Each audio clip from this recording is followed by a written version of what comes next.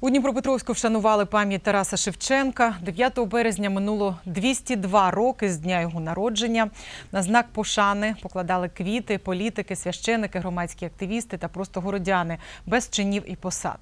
Деякі дніпропетровці прийшли до пам'ятника молодому Кобзареві із плакатами та фотографіями Надії Савченко і таким чином виражали підтримку українській полонянці.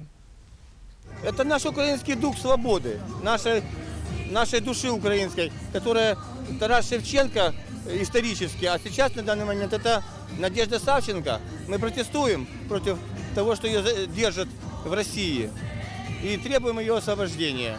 Поэтому мы вышли.